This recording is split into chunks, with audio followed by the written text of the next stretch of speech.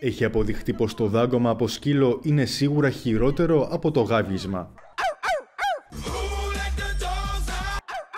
Χρειάστηκαν μόνο λίγες ώρες για να κάνουν το γάβγισμα της Hillary Clinton viral στο διαδίκτυο.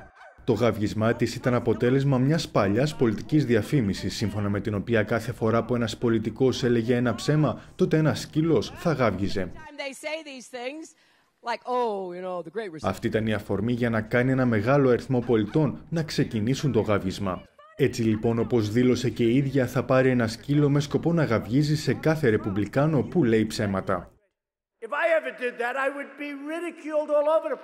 Φυσικά ήταν κάτι που δεν μπορούσε να αφήσει ασχολία στο Ντόναλτ Τραμπ, λέγοντας σε ομιλία του πως αν γάβγιζε ο ίδιος, τότε όλοι θα τον κατέκριναν στα μέσα κοινωνικής δικτύωσης, αλλά τους διαβεβαίωσε ότι δεν πρόκειται να μιμηθεί την Κλίντον. Στην ίδια ομιλία όμως και ενώ έβγαζε λόγο, ξαφνικά ακούστηκε το γάβγισμα ενός σκύλου, κάνοντας τον Τραμπ να αναρωτιέται τι ήταν αυτό.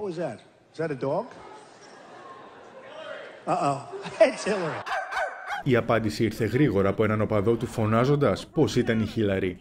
Το γάβισμα της Χίλαρη είχε ως αποτέλεσμα να επαναφέρει στη δημοσιότητα ένα παλιότερο γάβισμα ενός Αυστραλού συνταξιούχου.